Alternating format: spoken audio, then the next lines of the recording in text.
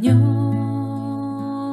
yo quiero ser un verdadero adorador. En espíritu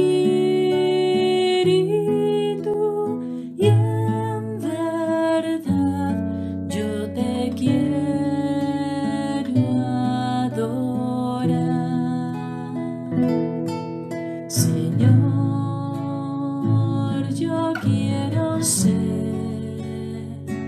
un verdadero adorador en espíritu.